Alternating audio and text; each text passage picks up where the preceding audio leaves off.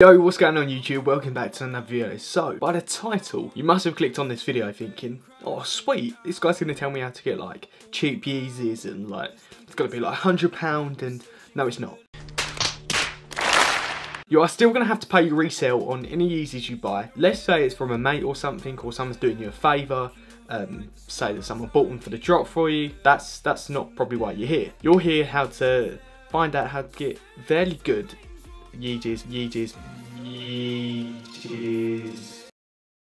for a good price and they're real 100% legit Yeezys um, gotta be careful though please do your research on what Yeezys actually properly look like and don't go on some sites you've never heard before have got bad reviews so yeah let's get on to the video so the best website that I used is called eBay. Um, you would have all heard of eBay. It's like one of the biggest marketplaces in the world. And yeah, that's where I bought this shoe and this shoe. Both for a really good price. Beluga 2.0s I picked up for £260. These were £275. These are such a fresh colourway. Um, these are dead stock because I don't want to ruin them.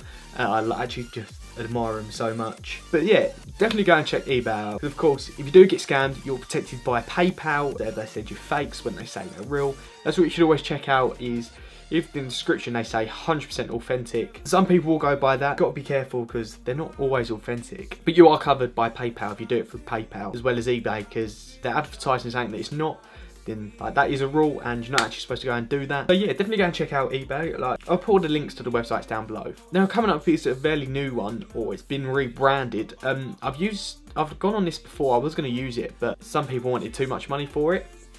And now this is K'LEKT. Um, I think it's just presented by now. My battery's about to die. Um, yeah, definitely go and check these out. Um, presented by. Um, link is just in the description. Got some good prices. Unfortunately, they took their marketplace away. Um, so you can't really go and pick up really cheap shoes anymore and haggle for them.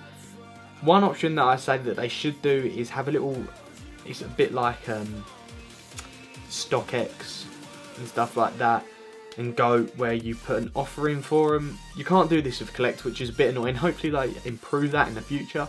But yeah, you can't actually put offers in. So, so that's where I'd advise getting some good Yeezys. And obviously, you've got Grailed, you've got Bumped.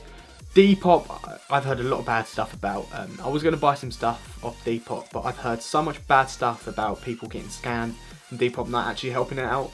So just be wary of the places where you buy your stuff I don't want you getting scammed. That's how to pick up cheap Yeezys, making sure they're 100% legit. You can do easy uh, legit check. If you get the person to send more photos, check online, stuff like that, you can usually tell which photos have been like taken away from different places. But yeah, this was a little guide on how to pick up some cheap Yeezys. So yeah, remember, don't get scammed with um, fake Yeezys. It is a common thing. A lot of people are getting scammed just be careful out there because people do like to scam you. So I'll see you in the next video. Peace.